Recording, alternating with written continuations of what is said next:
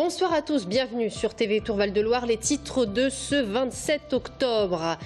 Les départements tirent la sonnette d'alarme. Qui paiera le RSA en 2016 Les présidents des conseils départementaux alertent le gouvernement. Ils auront bientôt plus les fonds suffisants pour gérer cette prestation sociale. Reportage en Loire-et-Cher et en Indre-et-Loire.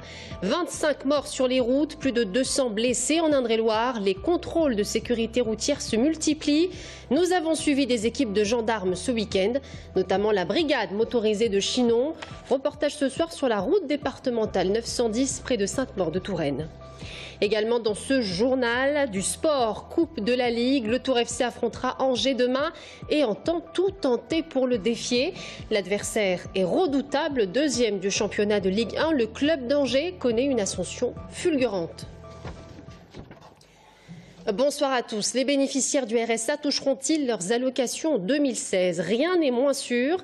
Les départements tirent la sonnette d'alarme car le nombre d'allocataires du RSA a tout simplement explosé en quelques années. Et les chiffres sont éloquents. En Loire-et-Cher, par exemple, ils étaient 5 000 en 2009. Aujourd'hui, le département doit gérer plus de 9 000 demandes. L'Indre-et-Loire n'est pas épargné. Augmentation des dépenses sociales, baisse des dotations étatiques. Si les conseils départementaux reçoivent une compensation de l'État, ils alertent le gouvernement car ils ne disposent plus de fonds suffisants. Romain Delville. En Loire-et-Cher, il y a 9 454 allocataires du revenu de solidarité active. Une allocation financée par le conseil départemental, distribuée par la CAF ou la MSA et compensée financièrement par l'État. Sauf que l'État contribue à l'allocation pour 5 000 bénéficiaires, le même nombre qu'en 2009, date de l'instauration du RSA. Les 4 454 autres allocataires sont pris en charge par le département. Nous allons nous finir l'année 2015 sans difficulté, avec un budget sincère d'ailleurs nous saurons euh, faire le budget 2016 en serrant les boulons. L'année prochaine, en 2016, c'est 40 départements qui bouclent pas le budget. Et en 2017, c'est 60 à 70 départements sur 101. Voilà. Pas parce qu'ils ont mal géré, pas parce qu'ils ont commis des fautes de gestion. En Indre-et-Loire, le constat est identique mais dans des proportions plus grandes. Environ 18 000 personnes touchent le RSA, 524 euros pour une personne seule sans enfant. L'État subventionne à hauteur de 50 millions d'euros pour un budget total de 75 millions d'euros. La soustraction est simple, il reste 25 millions d'euros au département, soit un tiers du budget RSA. On a une problématique où euh, la baisse de, dotation de l'État, l'effort qui est demandé aux collectivités, entraîne une baisse de 15 millions d'euros de nos dotations. Là, c'est beaucoup plus compliqué. Et on a, fait, on a fait, on a mis en place une revue des politiques départementales avec euh, aujourd'hui l'objectif de retrouver 15 millions d'euros dans nos budgets. La solution proposée par Maurice Leroy, par ailleurs vice-président de l'Assemblée des départements de France, c'est que le département continue de gérer le dispositif RSA, mais que l'État le finance comme une allocation nationale. Le mouvement ne s'essouffle pas. La grève générale des avocats aujourd'hui en France. À Blois, en Loire-et-Cher, une quarantaine d'avocats manifestaient devant le palais de justice. Ils ont ensuite envahi la cour d'assises. À Tours également, de nombreux procès ont été ajournés. Des dizaines d'avocats ont bloqué le tramway place Jean Jaurès durant une quinzaine de minutes. Un mouvement qui n'est pas prêt de s'essouffler en région centre comme ailleurs, puisque je vous le rappelle, le Conseil national des barreaux appelle à la grève jusqu'à mercredi. Malgré les efforts du gouvernement, les avocats fustigent la réforme du financement de l'aide juridictionnelle. Le procès de Trot s'est ouvert ce matin devant les assises de Blois. Souvenez-vous, ce couple, Jeanne Vaudeville et son compagnon Willy Trépeau, comparaissaient pour violence commise en réunion, ayant entraîné la mort sans intention de la donner. La Cour devra déterminer s'il s'agissait d'un tir accidentel ou d'un geste de défense et devra surtout répondre à cette question. Qui tenait l'arme? Les faits remontent à juin 2013, alors qu'Elvis Vaudeville, 29 ans, se range sa sœur à Troyes en Loire-et-Cher. Il profère des menaces à son encontre. Celle-ci aurait alors saisi un fusil de chasse, le coup et blesse grièvement son frère à l'abdomen. Transporté à l'hôpital, il décédera le lendemain matin. Le verdict tombera, lui, mercredi. Jumelles, brigades motorisées, les contrôles de sécurité routière ne faiblissent pas. Ils ont plutôt tendance à se multiplier ces derniers mois. En effet, l'Indre-et-Loire déplore 25 morts sur ses routes depuis le début de l'année et plus de 200 blessés. Un bilan encore trop lourd, et cela même si les chiffres sont en baisse. Les gendarmes seront donc plus fréquemment sur les routes. Reportage ce soir sur la RD 910, tout près de la commune de Sainte-Maure-de-Touraine. Audrey Champigny.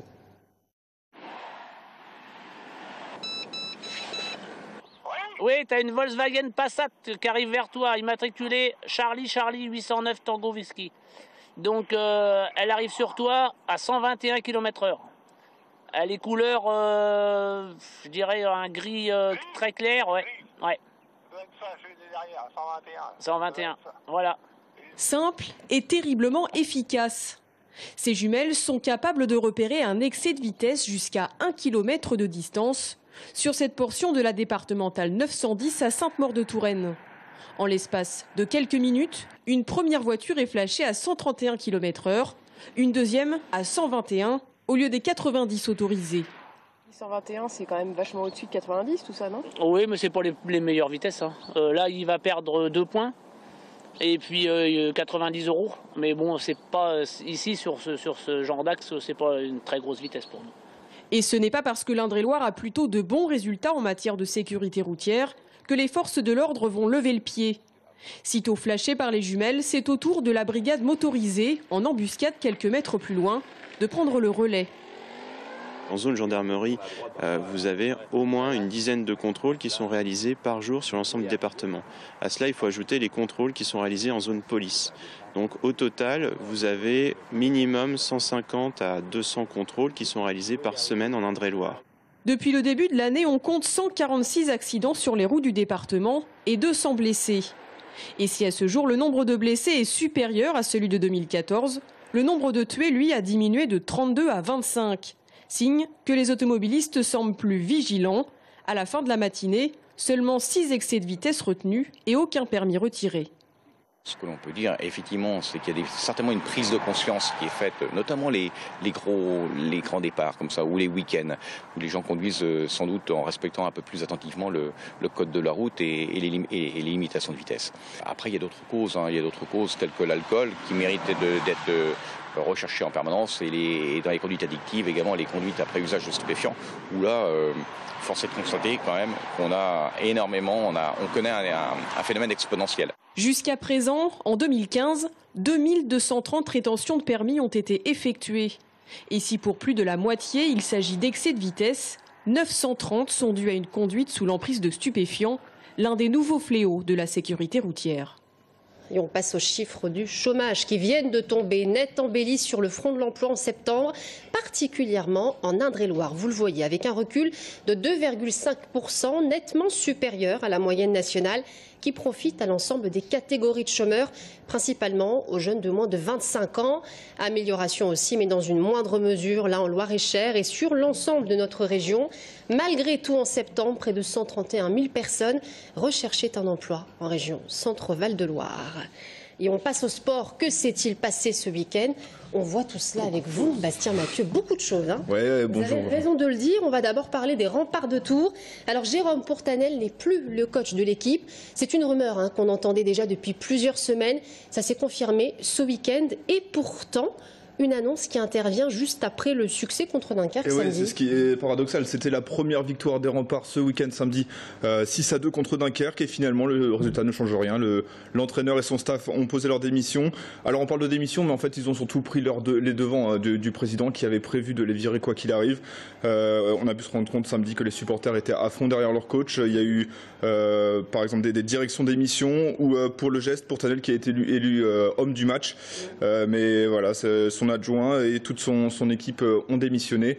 Et d'ailleurs. Euh, ce qui est encore plus surprenant, c'est que c'est Bobby Millette qui reprend les rênes du club. Il avait déjà entraîné ancien club de Tours. Ouais, vous me coupez comme ça, mais bon, c'est pas oh, grave. Pardon, je vous ai interrompu. non, mais j'allais juste dire que, Yvon, Bourgo, qui est donc son adjoint, son ancien adjoint, sera donc l'invité de Stadium juste après. Alors oui, Bobby Billette, c'est on, on, ferme la, page pour, pour, Tanel. On en ouvre une déjà connue du monde tourangeau.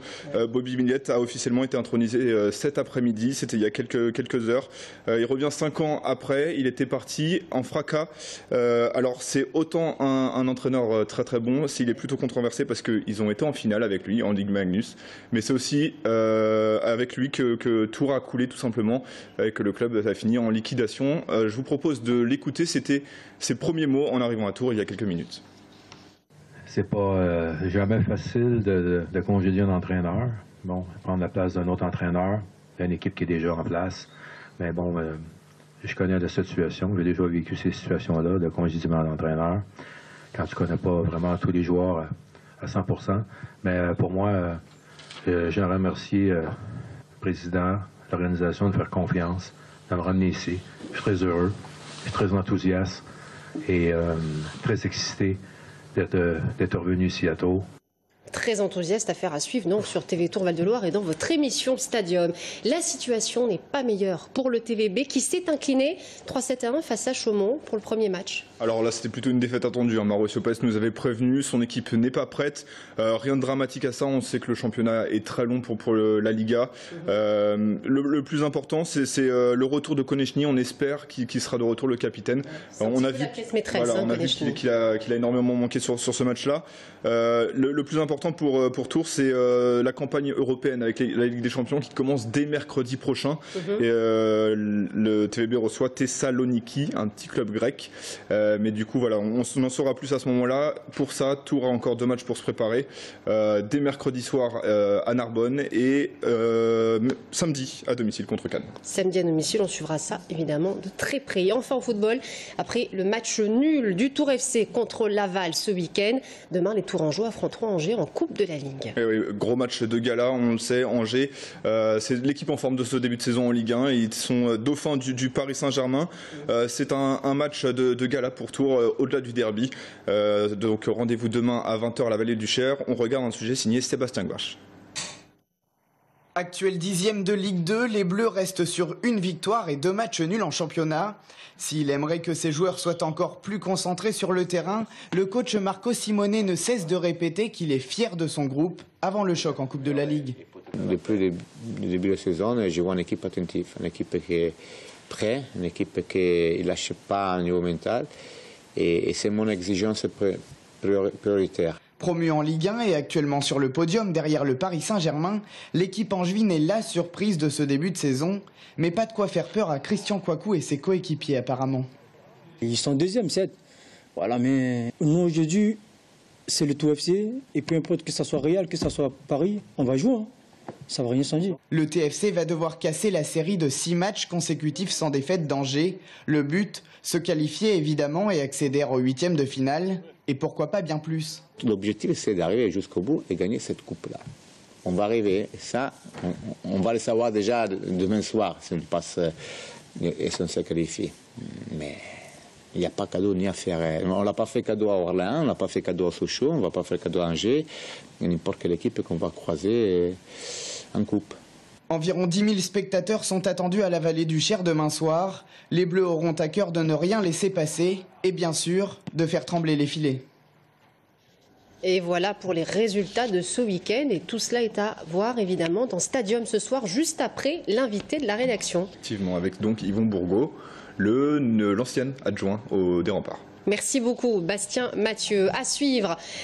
Les tumeurs neuroendocrines, un poison insidieux. Ce cancer est l'un des plus difficiles à combattre actuellement car s'il n'est pas soupçonné par les médecins, il n'a aucune chance d'être détecté et diagnostiqué. Une maladie rare, non, mais un cancer qui gagne du terrain chaque année. Celle que l'on reçoit ce soir a vu sa sœur foudroyée par cette maladie en 2013. Depuis, elle a créé le Sourire de Sabrina, la première association en France qui entend lutter contre ce cancer.